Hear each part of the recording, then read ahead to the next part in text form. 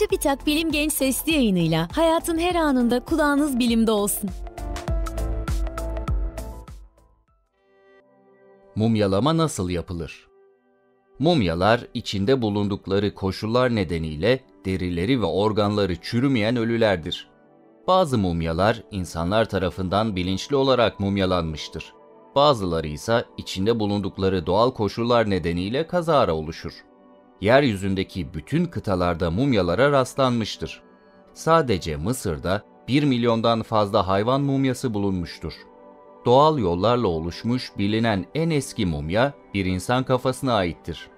1936'da Güney Amerika'da keşfedilen bu mumyanın 6000 yıllık olduğu düşünülüyor. Kasten mumyalanmış en eski mumya ise Şili'de bulunmuştur. Bu mumyanın yaklaşık 7000 yıllık olduğu tahmin ediliyor. Mumyaların bozulmadan kalmalarının nedeni içinde bulundukları ortamın çürümeyi gerçekleştiren mikroorganizmaların yaşamasına izin vermemesidir. Ortam koşulları mikroorganizmaların yaşamasına elverişli olacak biçimde değiştiği zaman mumyalar çürümeye başlar. Mısır'da bulunan mumyaların en eskileri doğal yollarla oluşmuştur. Eski Mısır'da insanlar öldükten sonra çöl kumları içindeki mezarlara gömülüyordu. Çok sıcak ve kuru olan çöl kumları suyun cesetlerden uzaklaşmasına neden oluyor ve böylece çürüme engellenerek mumyalar oluşuyordu. Eski Mısır'da kasıtlı mumyalamaların nasıl yapıldıysa 1900'lü yılların başlarından itibaren yapılan bilimsel incelemeler sayesinde daha iyi anlaşılmaya başlandı.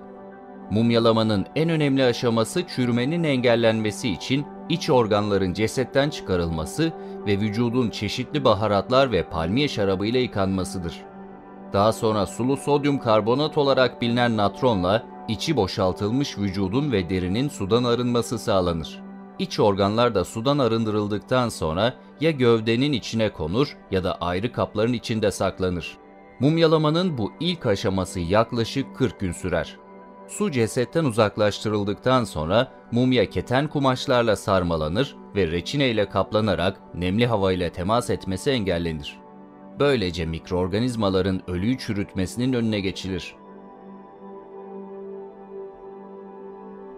Bilim Genç Sesli yayınlarını SoundCloud, Spotify, Google ve Apple Podcast kanallarımızdan takip edebilirsiniz.